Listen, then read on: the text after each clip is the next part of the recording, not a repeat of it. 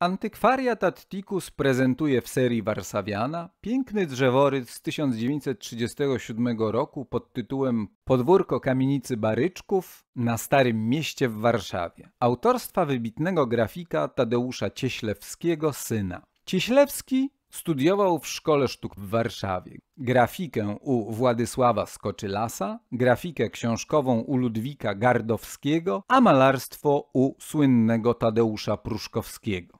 W pierwszym okresie uprawiał różne techniki graficzne, wreszcie poświęcił się niemal wyłącznie drzeworytowi, stworzył blisko 200 dzieł tego typu. Napisał też książkę poświęconą swej ulubionej technice pod tytułem Drzeworyt w książce, tece i na ścianie uwagi o graficznej rasowości drzeworytu. Szczególnie chętnie tworzył prace dotyczące warszawskiego Starego Miasta. Był również ilustratorem. Znane i cenione były jego prace Pieśń o rynku i zaułkach Orota, Na drogach Polski Hanny Mortkiewiczówny, Szary brat Pii Górskiej. Zginął w sierpniu 1944 roku podczas Powstania Warszawskiego. Zakochaj się w antykwariatach.